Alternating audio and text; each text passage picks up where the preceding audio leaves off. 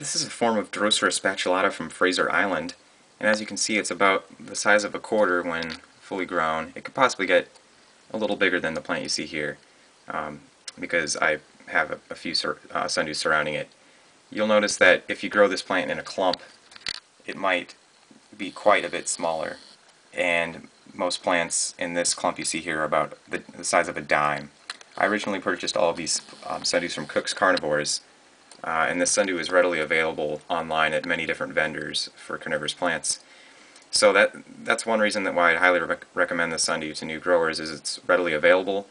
Another reason I'd recommend this um, for newer growers is that it's very adaptable to all different media types and conditions. It survives the warmest temperatures of the year, uh, around 95 degrees Fahrenheit with ease, and it flowers um, all the time. So it's a great plant for getting trade material or if you want to um, give away some seeds to other growers, um, it'll provide you with ample um, opportunities to do both of those. And um, it's very pretty as well. It has some nice red coloration and, it, and I haven't fed this plant for quite a while but it still flowers regularly and I guess you can see uh, a plant that recently flowered here.